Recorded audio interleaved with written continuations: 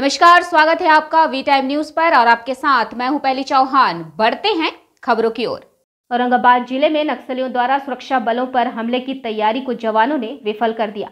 वही भारी मात्रा में नक्सलियों द्वारा इकट्ठे किए गए विस्फोटक सामग्री भी जब्त कर ली गई।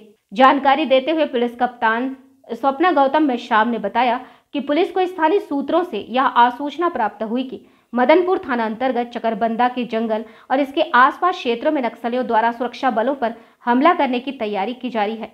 इस आसूचना के आधार पर पुलिस अधीक्षक के निर्देशन और मार्गदर्शन में मुकेश कुमार, अपर पुलिस अधीक्षक अभियान के नेतृत्व में औरंगाबाद ज़िले में कार्यरत 205 कोबरा वाहिनी, सैतालीसवीं वाहिनी, सीआरपीएफ तथा स्थानीय पुलिस प्रशासन के संयुक्त टीम के द्वारा दिनांक 22 पाँच तेईस को मदनपुर थाना अंतर्गत चकरबंदा के जंगल में गोबर दाहा गंजनिया, इसके आसपास क्षेत्रों में नक्सलियों के विरुद्ध सघन छापेमारी चल रही है।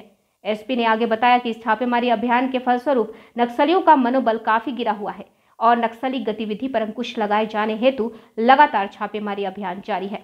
दिनांक 22 पाँच तेईस को प्राप्त आसूचना के आधार पर पुलिस अधीक्षक औरंगाबाद के निर्देशन एवं मार्गदर्शन में अपर पुलिस अधीक्षक अभियान औरंगाबाद के नेतृत्व में 205 कोबरा बटालियन, सैंतालीसवीं बटालियन, सीआरपीएफ एवं स्थानीय पुलिस प्रशासन के संयुक्त टीम के द्वारा मदनपुर थाना अंतर्गत चकरबंधा एवं इसके आसपास के इलाकों में सर्च अभियान चलाया गया, जिसमें विस्फोटक सामग्री, कंटेनर बम, उनचास, codex wire 110 metre, detonator, commercial electric 11 pressure mechanism एक, पुल मैकेनिज्म एक, पावर सोर्स तेरह, नक्सल लिटरेचर एंड डॉक्यूमेंट्स।